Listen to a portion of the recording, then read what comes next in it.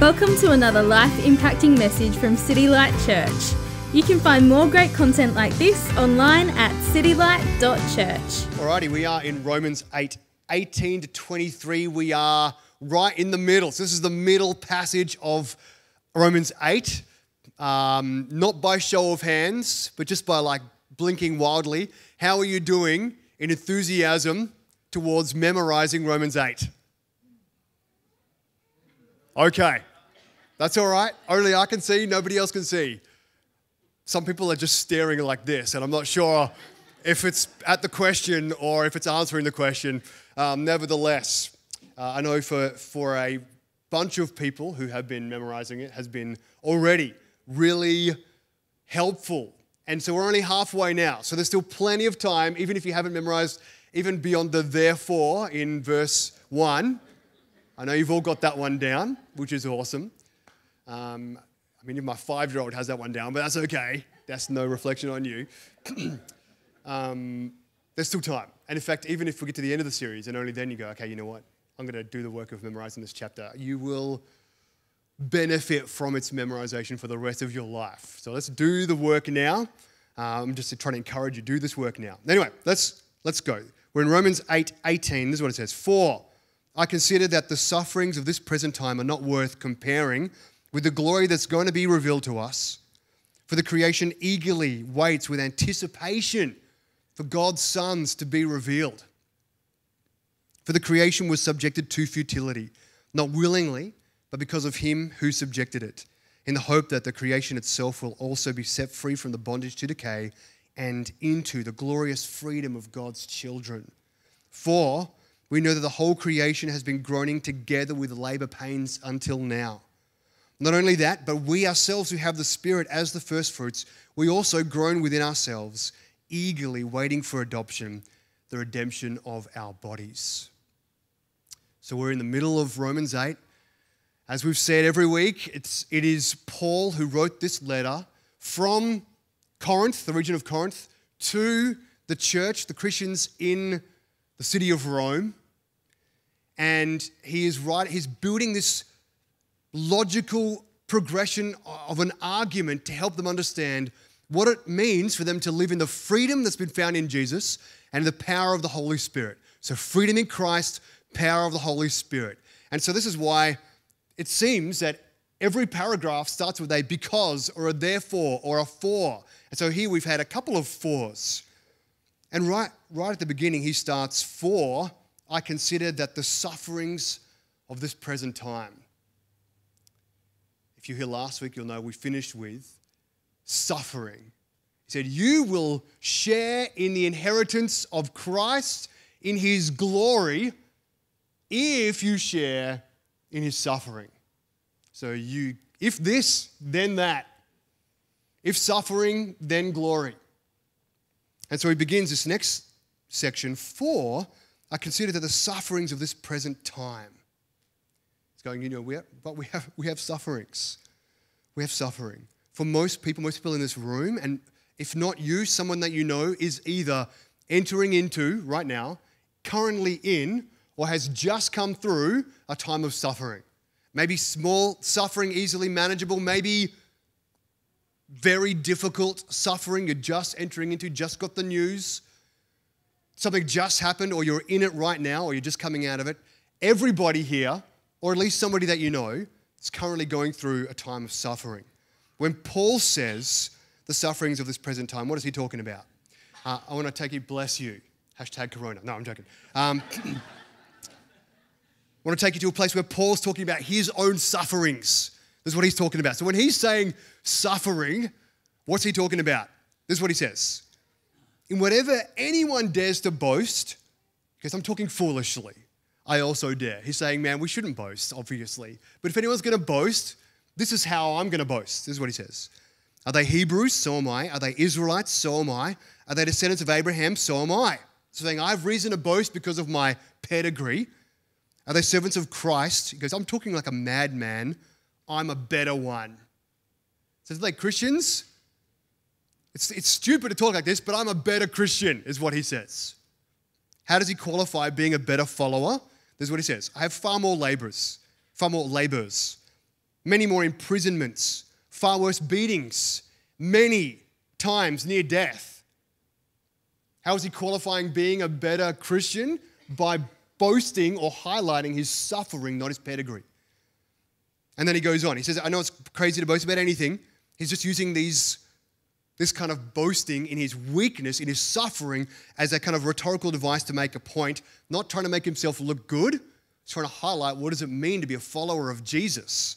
It says verse 24, five times I received the 40 lashes minus one from the Jews. Three times I was beaten with rods. One time I received a stoning said, In my body I have been beaten almost to death multiple times.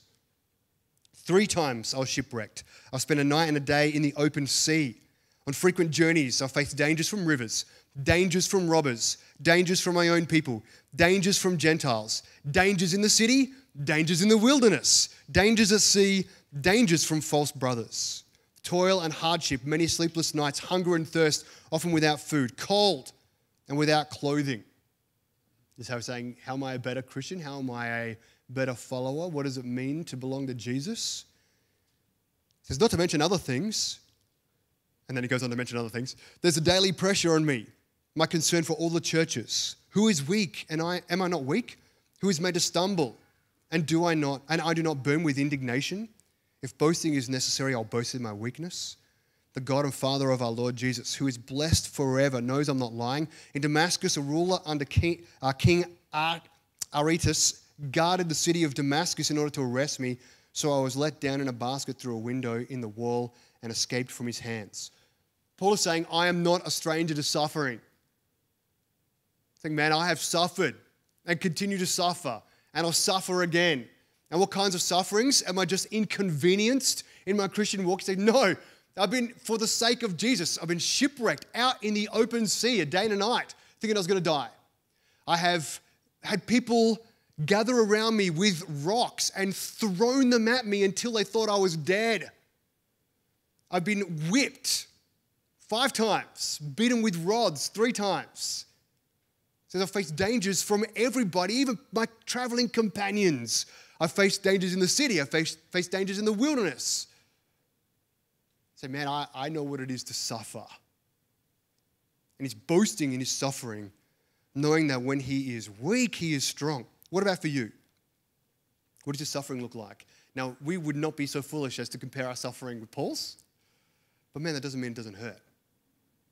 The suffering might be like he had uh, a, a physical suffering. Uh, maybe your body's just letting you down. Maybe you're suffering from uh, just the effects of getting older. I've spoken about this even for myself. Um, injury or sickness. I've shared before about a mate of mine. Uh, not much older than me. He's got a daughter who has terminal cancer. They have stopped treating her. Nothing left they can do but to see her just degenerate day by day until one day death will, death will come. Maybe your body just doesn't work properly. Maybe you have chronic pain or uh, infertility some sort of degenerative issues, ADHD, anxiety, something is not working right. Maybe that's your suffering in your body. Maybe your suffering is more relational. No matter what you do, the, the people who matter to you just don't seem, you don't seem to matter to them. Maybe no matter how much you try, you just can't seem to get through to people or they won't treat you right. Maybe you don't have the relationship you do want, or you do have a relationship you don't want or isn't helpful for you. Tension due to your sin, tension due to their sin, Tension due to no sin, just bad circumstance, bad fortune perhaps, circumstance, or a different way of viewing the world. Maybe people look down on you because of your love for Jesus. Maybe you have a relational suffering. Maybe, maybe your suffering is more vocational. Maybe you just cannot seem to find work. Or you can't do the thing you do want to do. Or you're stuck doing something that you just don't enjoy doing or tolerate at best. Maybe your boss doesn't like you. Maybe you can't get ahead. Maybe your work is too difficult. Maybe you don't see any escape. Maybe your suffering is more to do just with the state of the world.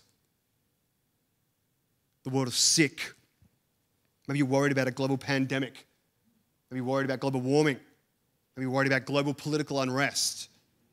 Again, you don't have to put up your hand. Who went and bought toilet paper this week when they didn't need to? I said, you don't have to put up your hand. but I see their hand. like crazy, crazy scenes. maybe you're looking at it going, I just, I'm freaking out. I don't know what to do. Maybe tired of seeing evil always seem to triumph, sick of hearing in the news about another woman who has died at the hands of a partner or ex partner, uh, powerful people taking advantage of weak people, kids being sold into slavery for sex and other nefarious things. Maybe just sick of the world as it is. You don't see an end to these things. Do you ever get overwhelmed by it and just go, what the heck is going on? There are many different kinds of suffering. Um, and again, I put it to you, you ha- because of the sick state of the world, and I don't mean that as in like the world is only bad all the time, um, but like we're going to look at today, the world is not as it should be. There is, you may have seasons without suffering, um, but it's likely that even in seasons where you're not suffering, you know people who are. Or you're on your way in, you're currently in, or you've just come out of some suffering. How does our faith help us in these things? What does the Bible actually say to this? Because I'll tell you what, I, I hear conflicting, confusing mes- messages from people who claim to be Christians. This is what last week finished on. This is, here's a promise from verse 16. The Spirit Himself testifies together with our spirit that we are God's children. And if children, also heirs, heirs of God and co heirs with Christ, if indeed we suffer with Him, so that we may also be glorified with Him.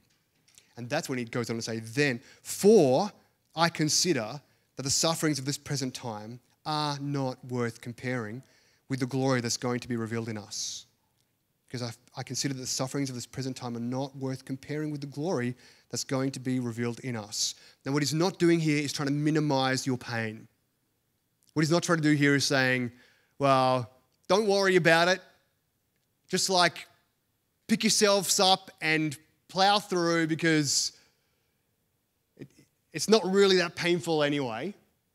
He's not trying to minimize the pain. He's not trying to minimize the suffering. It hurts to be in pain. It's tough to be in relational distress. It sucks when you don't know how you're going to make it through the week. It sucks when you don't see any future for you or future in your workplace or future in your relationship or relationships.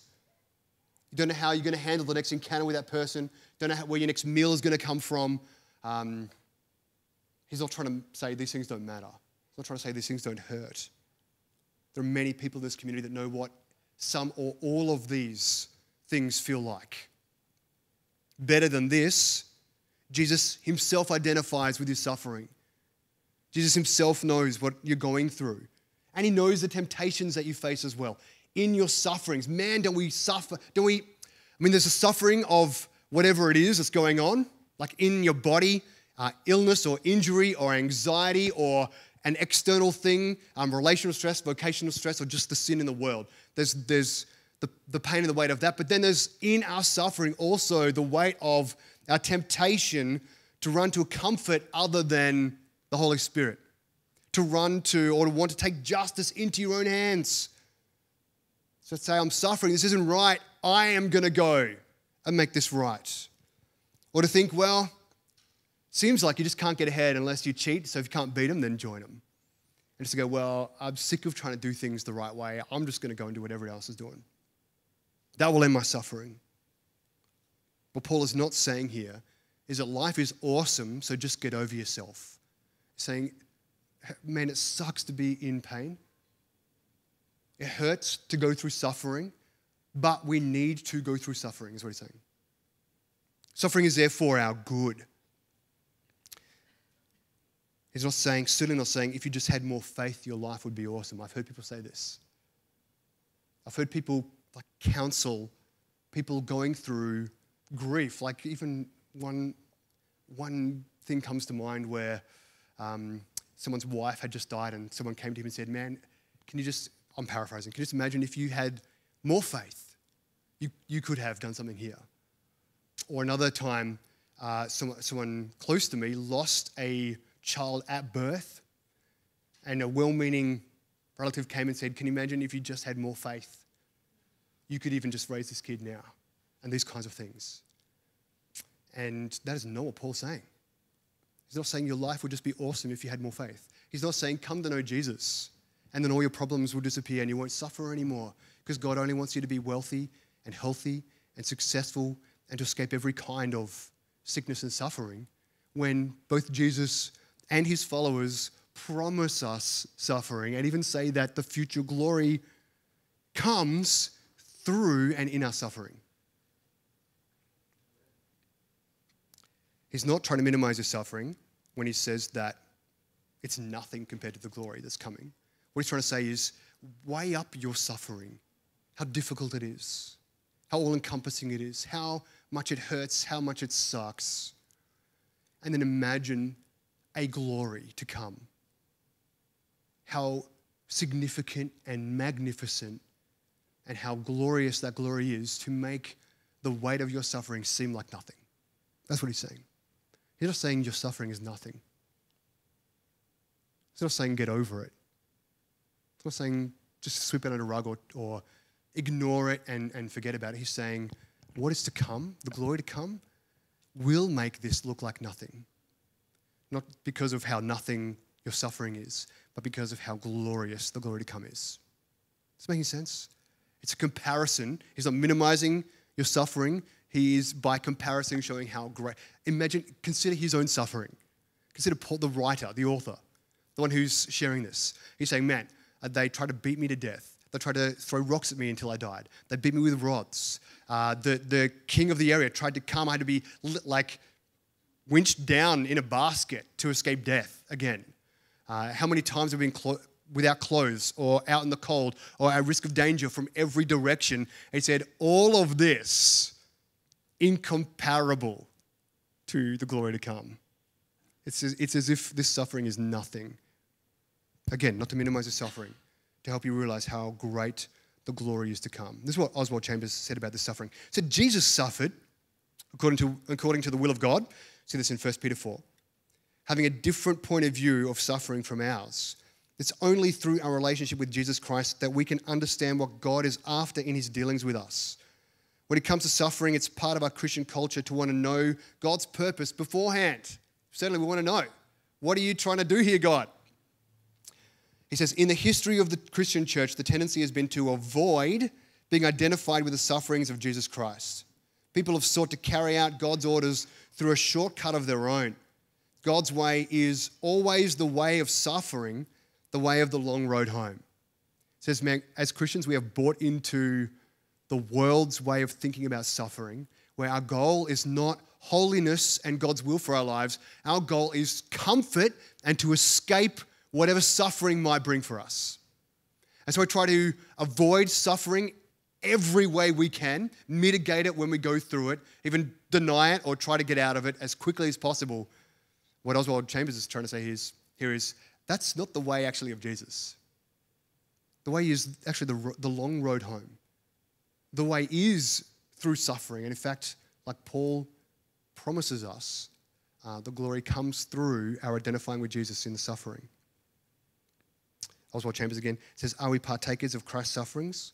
Are we prepared for God to stamp out our personal ambitions? Are we prepared for God to destroy our individual decisions by supernaturally transforming them? It will mean not knowing why God is taking us that way, because knowing would make us spiritually proud we never realize at the time what God is putting us through. We go through it more or less without understanding. Then suddenly we come to a place of enlightenment and realize God has strengthened me and I didn't even know it. So some of our suffering comes as a consequence of our own sin. We, we make sinful choices and then we suffer. Some of our suffering is us clinging to our way. We want to do things our own way. And escape suffering or pursue comfort. And God actually has a much better way. And in the tr- kind of like wrenching us away from our way and bringing us to the better way, we feel that pain as suffering. Whereas eventually, this is basically saying what Oswald Chambers is saying, when we actually are then on that path in that way, then we realize, oh, actually, this has been for my good. That suffering was for my good. Some of our suffering is a consequence of somebody else's sin. I'm doing everything like materially right, and yet somebody else drink drives. Somebody else decides to be selfish in a way that impacts me. Somebody else does something. and my suffering comes a, as a consequence of their sin. Some of our suffering comes seemingly for no reason at all, just bad luck. Wrong place at the wrong time. But we know that all of our suffering is because creation has been subjected to futility. All of our suffering ultimately is as a result of sin. How do we know this? Because our scripture today tells us. Uh, old mate John Piper, he says, there are at least these ways that God uses human suffering for our good. Five ways. He says, suffering leads to repentance. See that in Luke 13. Suffering leads to reliance on God. 2 Corinthians 8. Suffering leads to righteousness. Hebrews 12. Suffering leads to reward. 2 Corinthians 4. Suffering leads to revelation, like God revealing something to us. That's what we see in our passage here. I think there's a sixth R, which is suffering leads to resilience or steadfastness. You see that in James 1 as well. But in this passage, we see suffering is to reveal something to us. Suffering does a work in us. Again, repentance, reliance, righteousness, reward, resilience, and here, revelation. What does it reveal to us? Suffering reveals this sin stained world, the sin stained world's incomparability with the glory which is coming. Because of us being united with Jesus, because we share in his inheritance, because we share in his glory, what this passage shows in us, that suffering reveals in us, is that this world is not our home. That this world is not all that there is. That we don't put our hope in this world, but our hope comes from somewhere else. It reveals, it reveals the grotesqueness of sin, the destructiveness of sin, and not just sin abstract of us, but even our own sin. This is what this passage in Romans helps us understand that suffering does for us.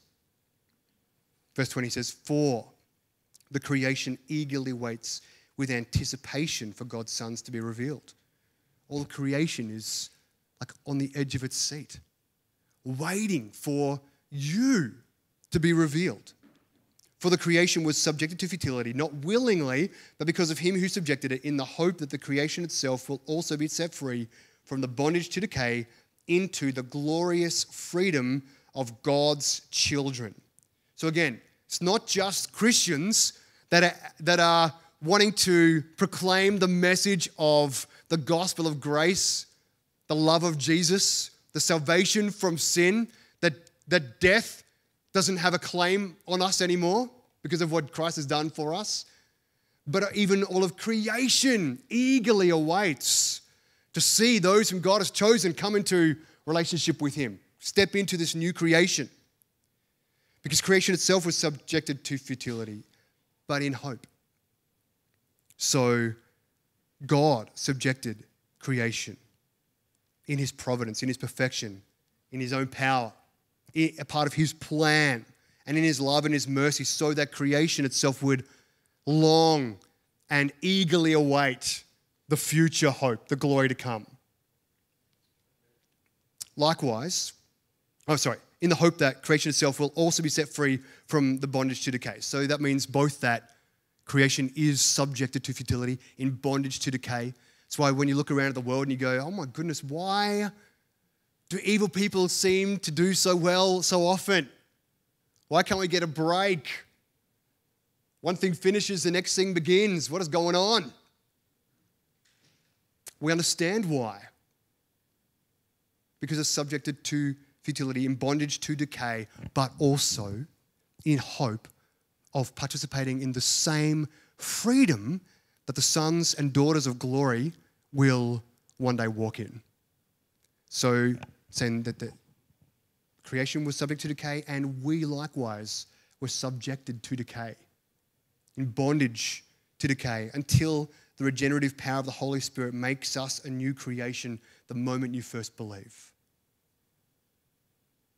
What Paul's writing is even creation is awaiting the same kind of renewal when Jesus, our King Jesus, returns to make all things new.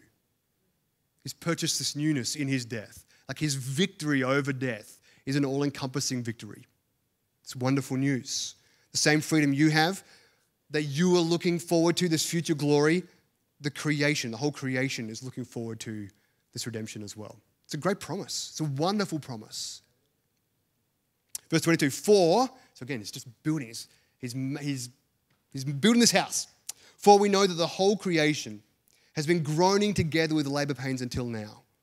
Not only that, but we ourselves who have the Spirit as the first fruits, we also groan within ourselves, eagerly waiting for adoption, the redemption of our bodies.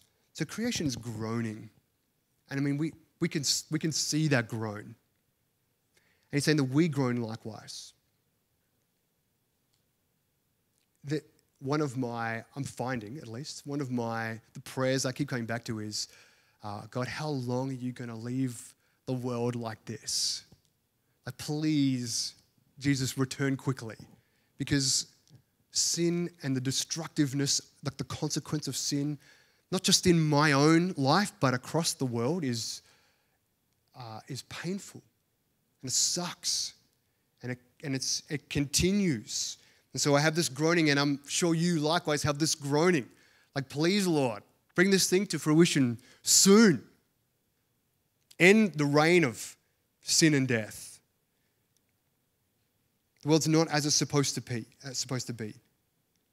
We're groaning because our pain is real. We're groaning because it sucks to go through suffering, even though we know it's for our good. It's still difficult in the time. But we also don't have to despair anymore. We don't have to lose hope anymore because our hope is no longer anchored in the world. We can both groan because the world's not as it should be, but also have great hope because our hope is not in the world being not as it should be. It means we know that God is at work in our suffering. So uh, if we go over to Second Corinthians, this is what Paul has to say about what suffering is accomplishing in him and in us. He says, then we have this treasure in clay jars. He says, we're, we're fragile. We're going to suffer, but we have, we have treasure in these clay jars. So this extraordinary power, maybe from God and not from us. So saying we are both fragile and we're powerful. So we don't get any glory, but God is working gloriously through us and in us. Said we are afflicted in every way, but not crushed. We're perplexed, but not in despair. We're persecuted, but we're not abandoned. We're struck down but not destroyed.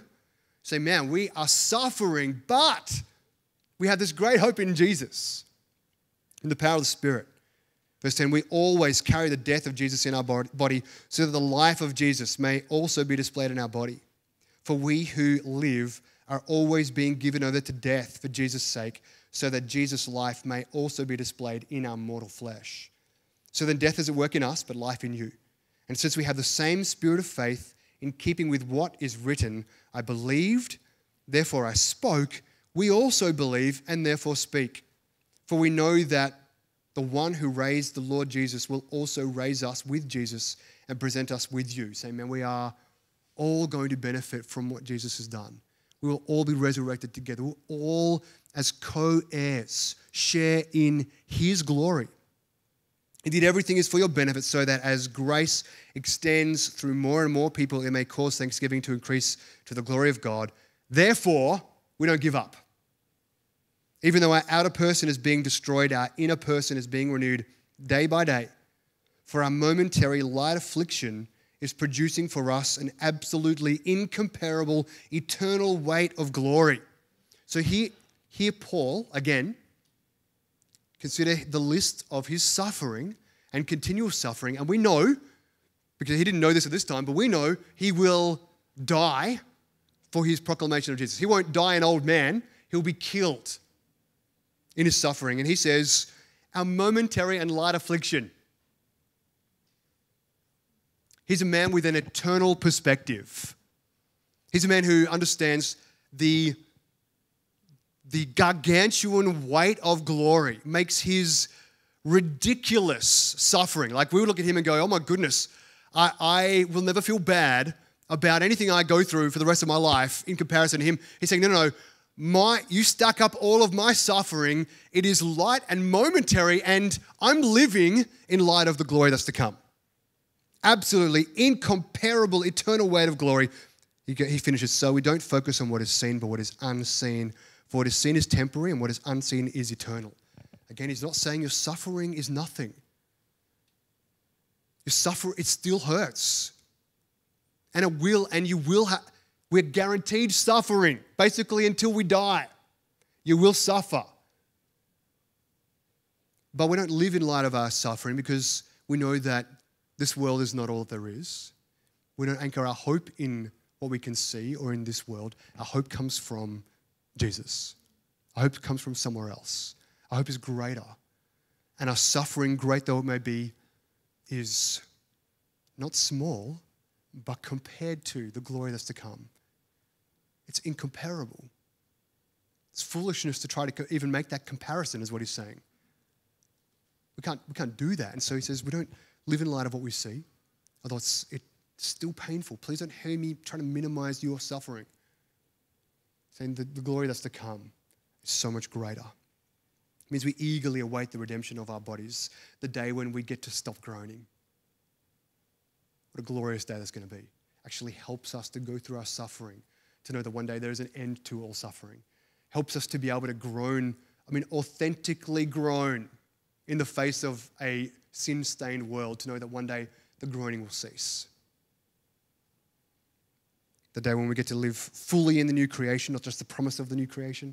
I know sometimes it sounds crazy to talk about a new creation. It seems crazy, even in the midst of our suffering, to think about, man, one day the suffering will end. Even the pre- like the penalty of sin has been dealt with. The presence of sin is still here. The power of sin has been dealt with. And one day the presence of sin will be dealt with as well. It's amazing. It's a wonderful, glorious thing to know. Um, but because we're surrounded by the effects of evil, because we're still in this world and even in our suffering, sometimes that future glory seems like so hard to grasp, so hard to consider, so hard to live in light of. And so, this is why we have places like Romans 8 to, to remind us of the glory that's to come. To remind us, yes, your suffering is and may be great. Maybe you're not going through suffering at all. You're like, yeah, that seems very reasonable that my suffering is incomparable because my life's pretty awesome. Uh, still incomparable to what's to come. Still incomparable to what's to come. The more you know Jesus, the more you trust Jesus, the more you experience the realities of his excellencies, of his majesty, the more you see him in his perfection, the wonder, the glory of what's to come seems much more real. The more we get to know Jesus, the more we're living in step with the Spirit, the more we understand the glory that's to come. This is why, like we saw last week, we can cry, Abba, Father. We actually go to God as our dad.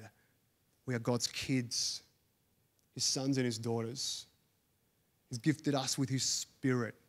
Yes, the power to believe. Yes, the power to live a life worthy of the calling, but also as a guarantee and a deposit that we belong to him.